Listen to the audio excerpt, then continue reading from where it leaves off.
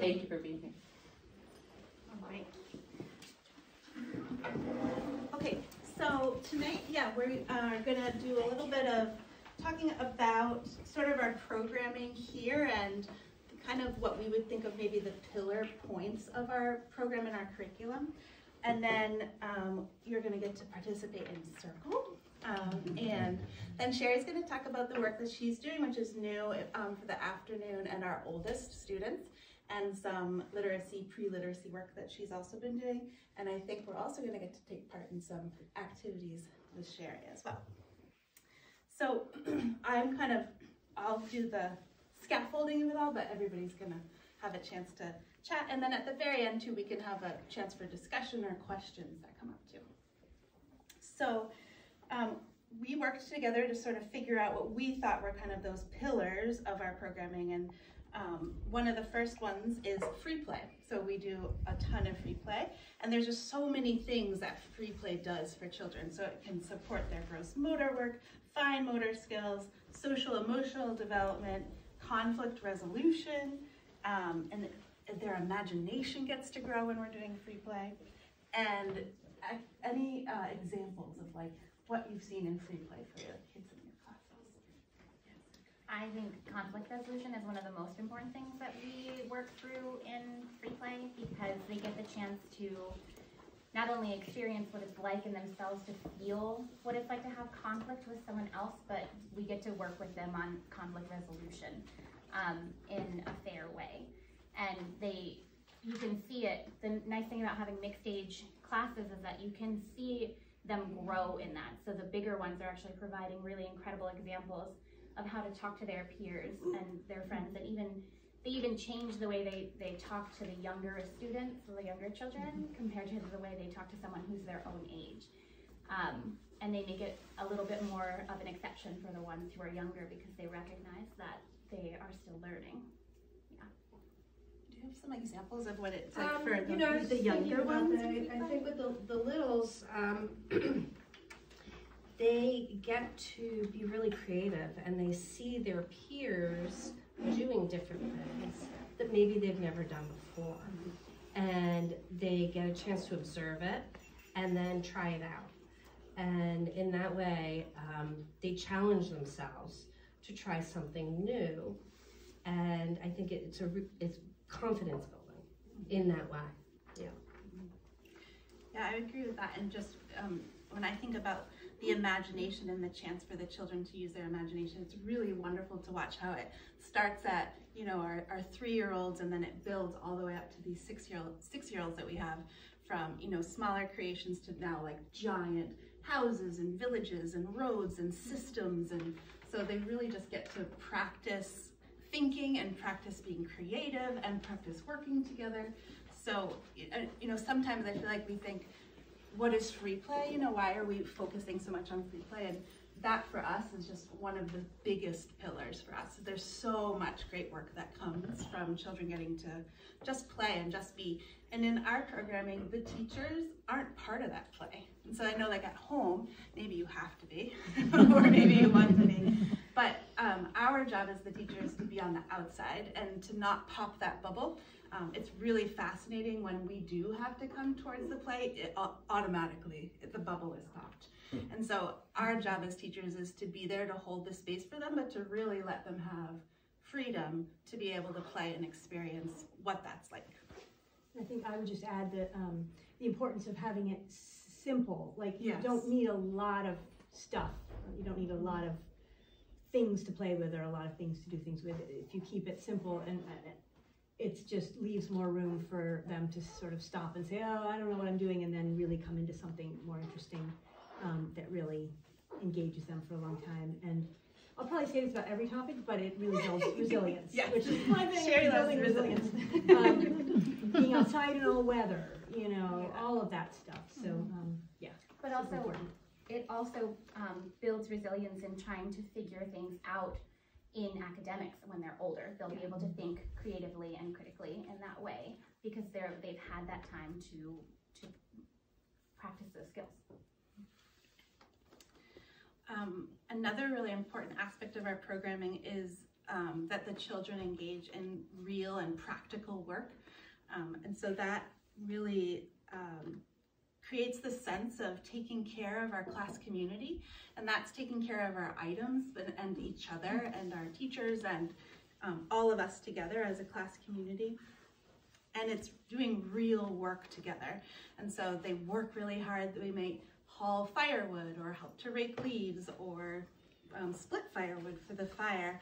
And they get to see uh, and experience that real work and then see something at the end, like a giant pile of leaves that they get to jump into. Or now we have a warm and cozy fire because we hauled all the firewood over. It definitely helps to work um, with their coordination and their, that hand and hand-eye coordination as well. Um, and an example I have today is as we have our older students, they start to learn or they start to kind of forget how to play they're going mm. through a, a, a, different development and they're really questioning how do I do this anymore? I have no idea how to do this anymore. And sometimes their play can become unproductive. And so practical work comes in. So today, practical work came into my classroom where instead of what was happening, some of my students went over to the kitchen over there and we got to wash all of our toys. And you know, at first it's like, oh man, but then it was incredible and they just engaged in it for like 45 minutes. They cleaned everything, they dried everything, and then they started to build and make these towers out of it. And it just really turned around that um, kind of social struggle that was happening and also like a you know teacher-student struggle that can happen and turn it into something practical and real that they could kind of re-land in and be like, oh, I do know how to be in here. I do know how to be in my body and I do know how to do this kind of work. Mm -hmm. Example? Well, I think they do take a lot of pride in, in that work too. So they take a lot of pride in taking care of the classroom. And they also, for example, building that big slide that we're working on that needs to grow grass in the spring. Um, they helped haul that dirt and they're they're pretty excited to be a part of that and get that up there um, hauling the wood chips underneath of the swings they get really excited about. We rake the leaves in the fall to get ready for the Forest of Magic and Mystery and the um, lantern walk and things like that. And so when they're walking those, they feel really proud of that work that they did um, and that they got to do it together. It's really important too. I think it builds community, um, a feeling that everyone has a job, everyone has a purpose, and it's real work. It's not, you know, mm-hmm. busy work like this is work we need to have done. You know, the tables need to be wiped at the end of the day. The firewood needs to be hauled, so we have firewood. So it's it's not like some giving them some job, but it's actually real work. To, yeah. And it, it, shows a community working together that we mm-hmm. all do our part. I had um, a cool moment this afternoon where I sat down at the afternoon group in here for lunch, and we made bread this morning, and one child said, oh, there's still flour on the ground. And kind of as I was walking to do something else, I was like, oh, you can sweep it up. And I looked back and she had gotten the sweepers, she'd swept everything up, and she'd put it in the compost in the fridge and then just closed the door and then went for lunch. and I was like, oh, okay. That was much more than I thought she was going to do, but we've been practicing that all year. We sweep up after we make bread and we sweep up after we eat lunch and she just knew how to do it. And so it just, it wasn't even a question for her. Any examples for your younger group and the kind of practical work that you all do? Well, I, you know, I think that chopping vegetables is terrific yeah. because for a lot of children that don't like to eat vegetables or eat soup, um, it is amazing when they've had the chance to chop and work toward it and then get to see the result and taste it and look for those veggies and enjoy eating them. Mm-hmm. And they all talk about it, and it's and it's wonderful. They talk about the shapes, the colors, mm-hmm. the taste. Um, so that that's a real learning experience for them. Um, our curriculum is also very child led, and so um, in our groups, we, we really work hard to create these class communities and are really working with the children as a whole. We, you know, we try to move through our day as a whole, and of course there are moments where we're not. And then we also really do strive to see each child as the individual that they are and, and learn more about them and learn what they need to flourish and to grow. Um, and so by having it be child-led, we're really um, meeting the needs of the whole class, all of the students, and their interests and what their needs are. Um, it kind of helps us to, it guides us with our exploration and in the forest, like what we want to check out, what we want to do. Um, and it also creates these opportunities to hear their opinions on things. And so you'll often hear us say things like, well, what do you think? Or I wonder, instead of always giving the answer of like, you know, uh, an example for us is we had um, animal prints in the snow a couple weeks ago, and the children were like, what is it? And so we brought out, we have little um, discs with animal prints, and we have books about animals, and we brought them out, and they searched for it, and it had one student looking and looking for the letters of his name. Yeah, no, he was looking for a certain type of snake, Yes. and it was a certain type of snake that starts with a B. We said, okay, look through the guidebook and look for a snake because there's the illustrations, and look for the letter B. And he was doing that for like 40 minutes. it's not a snake that you can find in the U.S. he was looking for a while. It was great. And so we didn't give the answer of, oh, that's a raccoon print. We got to explore it together, and the children got to figure that out. And then later on, as we were doing our nature walk, lo and behold, we found more of the same prints. All the children, as we were going through, I could hear them down the line being like, "It's a raccoon print! It's a raccoon print!" so really going with their, we might have an idea of how the day is going to go, but in those moments, just really helping them to uh, allow us to be led by them in their exploration. Um, I think I can think of two examples. One of them is recently we've had a few birthdays come through, and so we have all of our letters and things at this at a little literacy table that we have that has each of them have their own name card, but also they're interested in writing different things right now. And so with the birthday books, someone wanted to write happy birthday, and so we wrote out a card that said happy birthday. And so they started getting interested in learning and figuring out how to write that themselves. And then somebody wanted to write love bug. And so we ended up having oh. love written on there. And so he ended up doing love and then drawing a bug under the ladybug. It was really cute. So they those interests of coming and asking hey how do you spell this? We don't just say oh you spell it like this. Um, we'll say okay let's go get a card and we'll write it out and maybe you can copy the letters and we'll talk about the different letters that they're trying to use so that it's coming from them and it's not us putting it on them. Yeah. And I think the other example that I was thinking of was the pedagogical storytelling that we do, I think falls somewhat under that as well. Mhm. I might have a story that I'm telling um, that's kind of seasonal, but if something is going on in the classroom, I might get a different story that day because that kind of story will help them work it through. For example, we had some stealing of toys happening from other groups. So one group would be playing with something, this other group would go over and like take it and run away, you know, because it's fun.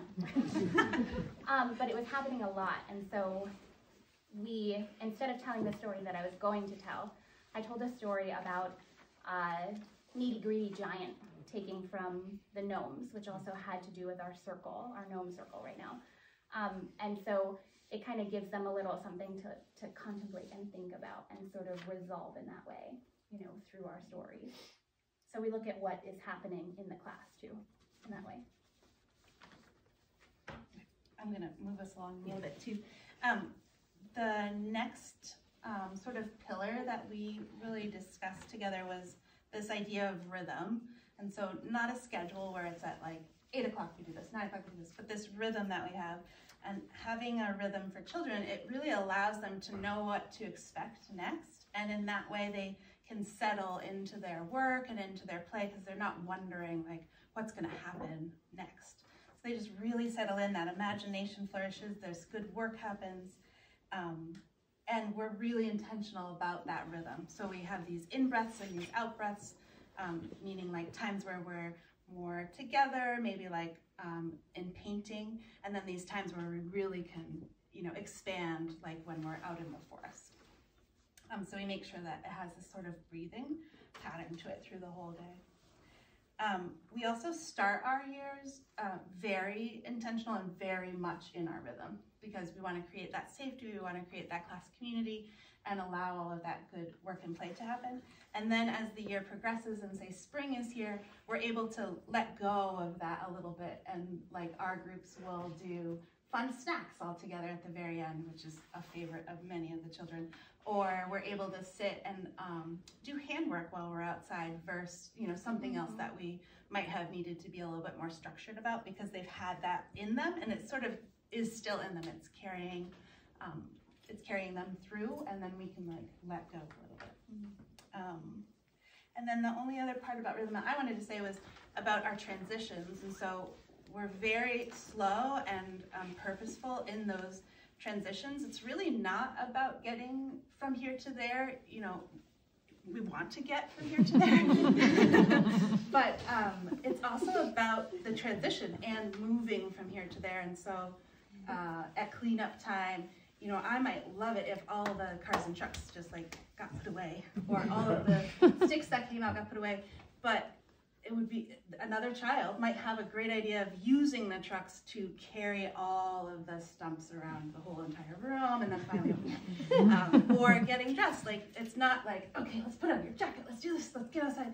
You know sometimes we might feel that inside but we it's really about showing care and, and, and helping them through and helping them work on doing this good work by themselves. And so um, transitions are are still a moment for us not uh, let's move move on through any other thing anybody would want to say about rhythm? I think you covered it. Okay. uh, and then time outside in nature is also really important to us. This gives um, the children and us the time to um, explore, to be in nature and all of the gifts that nature can give to us. It builds Resilience.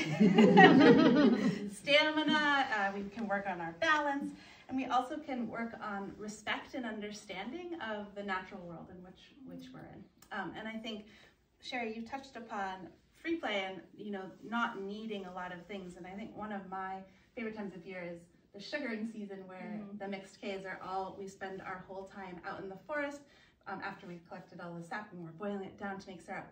And the children are there the whole day. And, you know, at first they're kind of like, what? And then all of a sudden there's seesaws, there's pirate ships, there's, and they just really look forward to having, you know, this little stick that they have had for the last two weeks is there's whatever, you know, they might tap trees with the, that stick or something like that. So just, um, nature can really provide so much for us and you don't need a lot of it. Yeah, and it's really fun to see them in that particular time sort of go off and do their play and everything, and then come back and get interested in the sap boiling and what's happening to it, and is it you know dark enough yet, and or is it time to add more? So they really get interested in all of that. Anything else about outside time? I think it's a great time for especially the littles to learn about their, their inner balance and their core balance um, and their strength. Um, which sometimes they come to us and they really don't have that kind of ability, and they very quickly um, can rely on their own feet to carry them through these roots that they're walking over and rocks and slippery snow and it, it's wonderful to see them build that. And then sort of the final pillar that we wanted to talk about today is, is this idea of circle. Um, I do feel like ours is a unique circle um, where we're doing big movements and little movements. We're doing imaginative journeys. Um, we're learning how to be together in a group. And some days it's just learning to stay in a circle. That's actually really hard. Um, and so we might just practice that for a long time, and then finally we're able to move together in a circle or follow each other through through the classroom.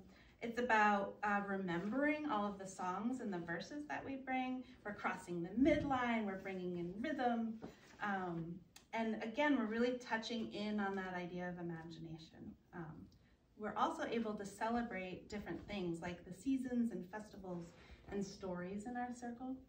And I think something that's also maybe unique to us is um, kind of merging two different pedagogies. So really bringing in a little bit more explicit um, pre-literacy and literacy work through different um, curriculums. This is um, Heggerty, and we all use it in our uh, mixed Ks, and you'll all get to experience circle in just a moment, and you can um, see how we mix the two together. So they still get this imaginative journey, but they also get to play around with letter sounds and letters and numbers and understanding all of that as well.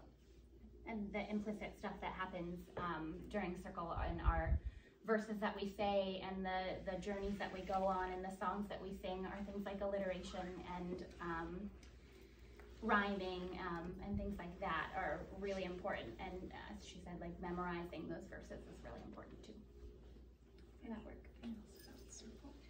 I think it's really important for spe- speech development. Mhm. Um, and yeah, hearing those enunciations and when you know you're in circle and it's a hard K or it's a soft O and they learn those things and start to really enjoy them with their whole being, not just as a right as a as an act of making that sound. Mhm. Okay, so I know it's a little bit crowded, but um, I wanted to give us the opportunity to move, but then just to also experience um, circle. And I feel like as we finish up the circle, that will be the perfect time if people want to scoot out, because I won't take forever. Um, so I'm just going to lead us through what I'm doing right now in my circle, and you'll get to see a little bit of um, this pre-literacy literacy work that we did in this. Um, so we all start. Everybody gets to do it. Uh, we all start in a circle, and we do the same clapping pattern every single day. And right now, my students are so excited because, for the most part, we can do it at the very exact same time as a whole group, which is very cool because before it was like. and now it's really, and all the times we're doing so that's what we do. I'll do it a little faster than we do because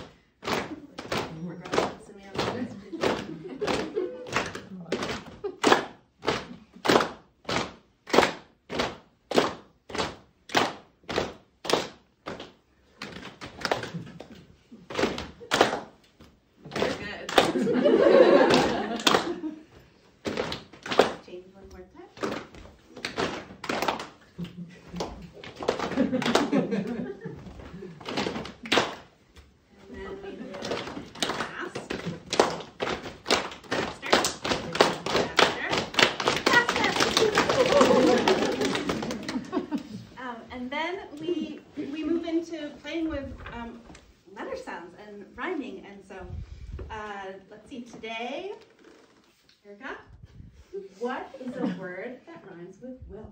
Fish. Um,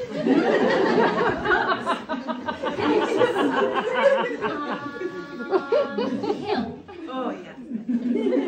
Abigail, can you think of a word that rhymes with will? Phil. Mm. Sherry, what about you? Um, Jill. Mm-hmm. Yeah, so many words. okay, and now I'm gonna say a word, and then you're gonna let me know um, which word starts with the same sound.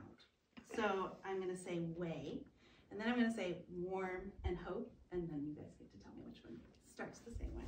So way, is it warm or hope? That sounds the same at the beginning. Oh yeah. Olive, is it lane or ox? Mm, Yes. What about bold? New or band? And we do it a little bit longer if you want. And then I'm gonna say two sounds and you're gonna tell me what the word is. Ooh, oh.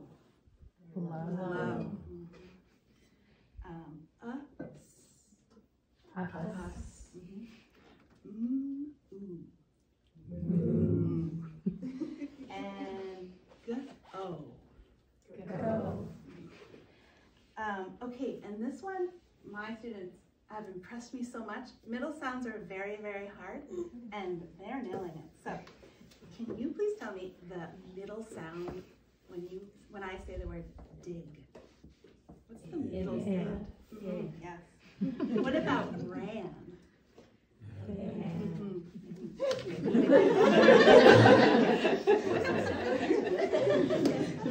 Okay. If say ox and add b, what do we have to the beginning? B to the beginning. Ox.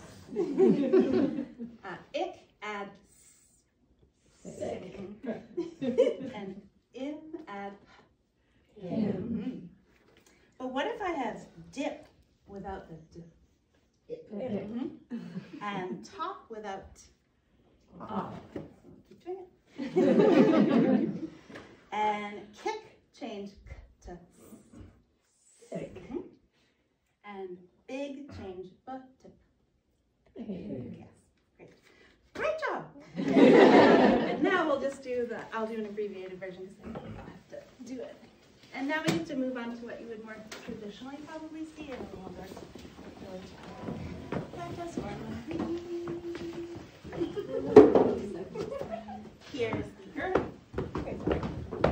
Here is the sky. Here are my friends. And here am I. Good morning, dear earth. Good morning, dear sun. Good morning, dear stars. And the flowers, everyone. Good morning, dear animals. And the birds in the trees. Good morning to you. And good morning to me.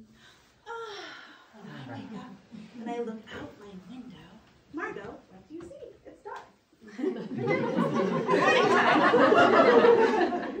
it's cold and snowy. and for some reason, we get to jump out of bed and automatically run down and put our outdoor things on. Maybe we've slept in our clothes, but we jump out of bed and we run down the stairs we put on our outside things. First, we will put on our snow pants. And we are touching our legs, feeling our body as we're doing it.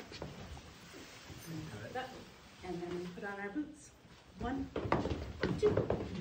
We put on our jacket. Again, we're touching, we can feel in our bodies, we are here. Put on our hat. Sometimes we have to wear a scarf. One. One, two, three. And we pull it down to see. Finally, our mittens. Thumbs in the thumb place, fingers all together. That's what we say in mitten weather.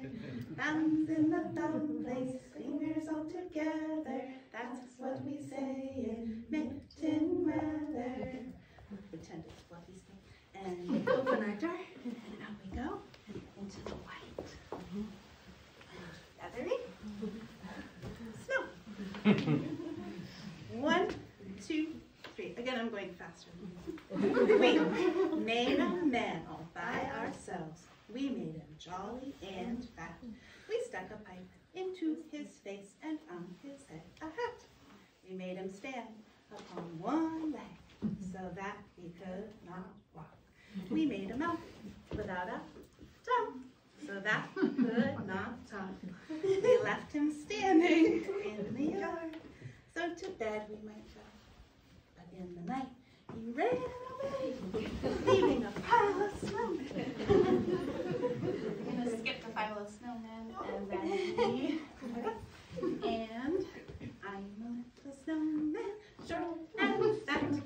Here is my broomstick, here is my hat. When the sun comes out, I melt away. Down, down, down, down, down. Oops, I am a puddle. we go to our shed, we open the door, and today we will take out our cross-country skis. So let's our skis, we take out our poles, we take out our boots, and we put on our, skis, grab our poles, and we would go all the way around the whole classroom on a journey. And then we've come to the forest, and you sit down. First, we start with little sticks. Criss, cross, criss, cross, criss, cross, criss, cross, criss. Put it in the fire. And the medium sticks. Criss, cross, criss, cross, criss, cross, criss, cross, criss. And then the big box. Criss, cross, criss, criss, cross, criss, cross, criss. And our match. We take our thermos from our backpack. we take our container or jar from our backpack. we open up our thermos. Martha, what's in the thermos today? Hot chocolate. It's hot chocolate. we open up our jar. Sherry, how many marshmallows do we have today? Twelve. Oh my gosh. So the children think four is huge. I pretend Sherry said four. One, two, three, four. Take a sip and drink it up. Put your thermos away. You have it. Put your jar away. And out we go. And then I will um, stop us, but we would go through a big long journey again. We come back home.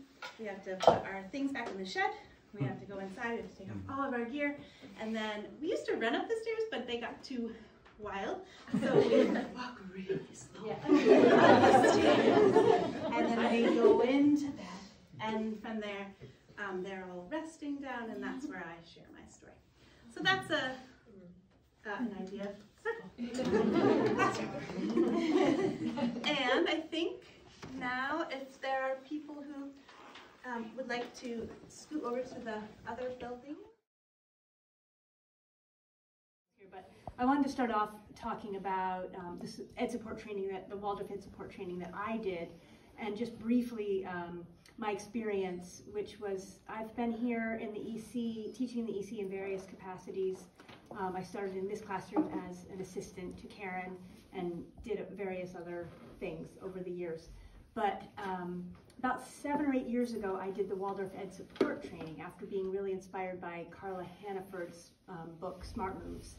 And um, I loved it. It was such a wonderful training. It's, it's about working with children who are having challenges um, with behavior or with learning and ways, physical, integrative movements, and artistic activities to help them um, move through those challenges.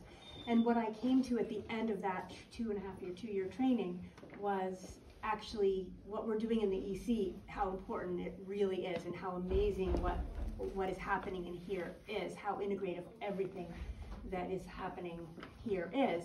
And I didn't want to leave the EC. You know, I um, my training was was working with three year olds to um, 12th graders, and I loved the EC. So I, I you know stayed here. Um, and I feel like that I just wanted to sort of start with that. When then when this job possibility for the afternoon with what I'm doing, um, working with the rising children to be able to do my first grade readiness assessments and just embed them in and do all this work with these children, it's really like a, it was a total dream job. It is a dream job. Um, I'm really, really thrilled to be doing it, and it feels like for me it was like putting the two pieces together. This the ed support stuff and still staying in the early childhood. Um, so I just wanted to give a little background about what that is. Um, the one thing I'd say about what I'm doing now is that there's so much to it. Like I am the first one to be able to geek out on uh, all the science, the brain science with movement and all of that stuff. And yet, really, the important part for all of us, we would all agree, I'm sure, is um, holding the children with warmth and joy and really um, striving to see each child for who they are. And for me, what that, the, the more I can, we talk about being removers of hindrances in the Ed Support training, and the more that I can help a child to remove the hindrances, which we all have, there's genetics, there's everything, who knows why we are the way we are, right? Um, the more I feel like a child can truly see and find their spark, what I call like their spark that we I think we all have like a spark of what what is something we love. And it might be something we're naturally good at or it might be something we're really not naturally good at and we have to work 20 times harder to do this thing that's that's our spark for our life. And so for me that's the most important part. And so i'll get into the specifics of all the stuff that i'm doing but that's what i'm holding um, when i'm working with the children and um, also wanting them to continue to have a joy for learning for the rest of their lives. And that's what Waldorf education, I feel like, is so strong at, is it, it's fun, it's joyful, and it's hard work too. It, I don't want to make it sound like everything has to be fun, and it, we don't, you know, we can't do that. Um, so that holding that for me, and I think that's an important part of it.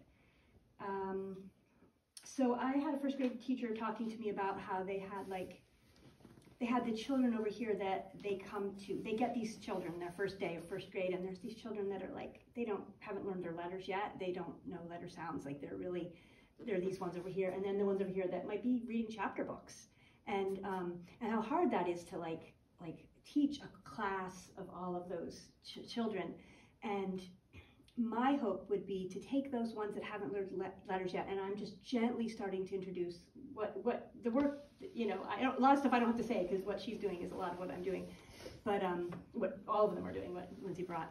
Um, but gently bring in a fun, joyful, playful way, so that they have a little better sense of the letters for first grade. So they're coming over here a little bit, and then these ones reading chapter books, not always, but sometimes they're the ones that um, do they how do they do socially? How do they do um, do they have a strong enough core so they can sit at a desk for 40 minutes to do their work? Like because if you don't if you don't have a strong core you're gonna or good balance you're just gonna you know you're not gonna be able to do that even no matter what capacities you have. Um, and do they know where the end of their shovel is? You know do they know where their body is when they're waiting in line to not like you know smash into people. So like we can work with those things with those children and these with these. So it's still going to be like this but maybe it won't be quite so far. So that's my hope is to sort of bring um, balance a little more balance. And i'm excited to be able to to have a picture of most of the children that are in our um, in the rising first grade to bring to that first grade teacher along with of course their morning teachers. And i'm also in contact always with all like we're talking you know, at all times about the children. So there's never a point where like I would know, think something and someone else wouldn't, or vice versa. We're, we're always in contact. Um, okay, so the things that I am working with are, there, I, I like to divide it up simply into four things, which are core and floor. I'm going to come back to what they are. Hands and feet, like fine motor, basically. Balance, and then eyes and ears, which is auditory visual. And everything I'm doing can pretty much be put into one of those categories. Um, core and floor I touched on a little bit. Like if you don't have you don't have a core, you're not going to be able to sit up at a desk and, and do your work. Um, there's also something called retained reflexes, which I am not an occupational therapist, but we did touch on people who have these immature movement patterns. Um, some people are familiar with the Moro reflex, which is you know the baby gets startled and their arms go up. These should integrate through physical movements, but for various reasons they don't always. And there are physical exercises that I've done some other trainings on that can help integrate. And so every day we do a yoga adventure, movement adventure, and we're integrating, we're doing core work, we're doing that every single day. Um, there's so much of a, you know, the brain is being wired by physical movement. Um, so then there's hands and feet, which is really fine motor. So we do, we're practicing tying, um, you know, in order to be able to hold that pencil when they, you know, are, are getting to the work they need to strengthen. And so, you know, there's Play-Doh, there's puzzles, there's um, all of that kind of stuff. Um, and then balance. It's similar to the core where, again, if you don't have good balance, we see the younger ones that come to us that fall off their chair. And um, so I don't have any this year that are five and six that do, but um, that happens sometimes. And so it's just working with balance. And so I have um, I have a balance beam in my room, and I have I brought over some things to show you, but I have some bean bags I made, and so they're you know they're practicing the balance, and and we do that along with like they might roll. Well, I'm getting ahead of myself, but I'll just tell you they might roll dice, count what they rolled, and then count like if they roll a three, they go one, two, three, one, two, three, walking on the balance beam. So it's it's using your your verbal skills, intellect, as well as balancing. And then they're getting some numeracy because they're having to learn what a six dots looks like, um, which is supposed to be good um, for numeracy. And then auditory and visual, which is a large part of what I do. We do rhyming, all of us do, and I do rhyming every day. I have a heavy ball we toss around. It's totally fun. It's not, you know, if they don't get rhyming yet, we just laugh and we move on and we keep going. I, I can say this class that I have this year is just joyful. They just love it. Even if they, they just laugh if they get it wrong, it doesn't matter. It's not like, it doesn't feel like a test. It doesn't feel like anything like that. And so the auditory visual is super important. Um, if a child can't process auditorily, they're not going to be able to understand that a goes with an a. And so it's that's why nursery rhymes are a thing. You know, people knew this without knowing the science behind it hundreds of years ago. So we lots of exposure to rhymes, and we we at this point with the five and six year olds, like they can come up with their own rhymes. And at the same time that I'm playing these games with them, they're learning things and they're being exposed, but they're also I'm also assessing without them knowing. Um, so I'm saying, you know, who really can't rhyme, even though we've been doing this for a few months, and and you know that can just be an indicator of maybe they have a little bit of a challenge, and so no big deal. But we'll let the parents know, and we can catch it, and um, and so it's both like I'm teaching and I'm watching. Again, with the movement, who can balance, who who's nervous about the balance beam. Like some of them are really nervous to go on it, and others are plopping three, um, you know, bean bags on their head and they're walking across, you know, counting. Um, and some of them go really fast, and so they fall off. And you know, the ones that go so slow and careful, it just tells so much about them and helps me to see them. You know, that seeing part. Um, and then there's the breaking up word sounds, all of the stuff um, that Lindsay mentioned. Um, and then some of the literacy work that I'm doing, I'm trying to think, I've said most of it. There's some other, we'll use natural materials and make letters and, and that kind of stuff. And we will be, this will be new for me, but I have agreed that we will start to do some drawings of capital letters in the spring together. So we're gonna start that one and we'll do it in a story-based way and uh, we'll see how that goes. But I'm excited to be able to bring that uh, in a way that feels Waldorfy, that feels like we're allowing them to still be in that dreamy land and it's fun and it's low pressure and it's this exposure that will be great for the ones that haven't had that exposure. Um, and let's see, what else? Um, okay, I think we're at the point where I'm gonna show you we do a lot of puzzles too. Like I have the free play after lunch. We just, I mostly put out puzzles and it, that's really fun. I'm gonna show you a couple things I have. There are a couple games and then we're gonna do a movement. I've got five minutes, so. Uh, oh, and we read, oh my gosh, we, we read these chapter books, the Gnome, um, Lim- Tales of Limendore Woods, and they are just the sweetest things. The gnomes have this like they have these values and they're kind and you're always I mean it's just the sweetest thing and they're all just waiting if they miss a day. They're like what did I miss? And some of them yeah I mean every one of them loves it and some really like love it more than anything. So I'm just going to show you a couple of things okay? This is my um, you can pass it around if you want. That's my heavy ball. It's a weighted ball and that's something we'll toss while we do rhyming and it just like we can we'll do rhymes. Sometimes I'll make we just make up rhymes like apple orchard rhymes with that being an apple or you know there's all sorts of i often wing it and we just laughingly make up rhymes you know.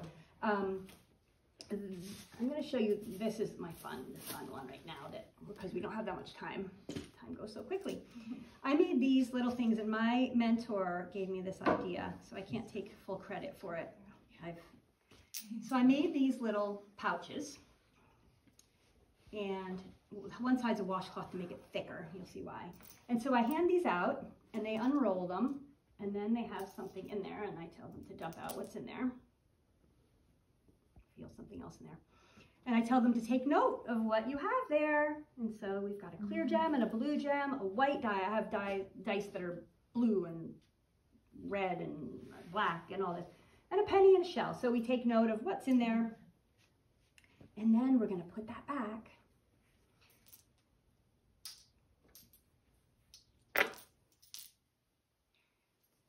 And then I show them how to roll it up the first time and then they get it put all the things at the bottom and you roll it back up and then we're practicing tying and uh, very few of the children know how to tie. So tying, just because we don't have to tie shoes anymore, it's a really good fine motor activity. And if I could do this again, I would make these a little longer because the early tires, are a little short for them.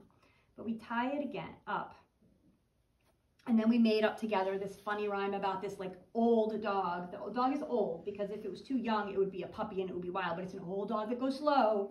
we don't want it. And so this is, and I can't remember it off the top of my head. It's like uh, it was an old dog named Bill. He, he was bringing his person a gift over the hill. And he walked around the car and, you know, I don't know, I put a car way over on the other side of the room. They tuck this under their chin. And go all the way around the car and come back.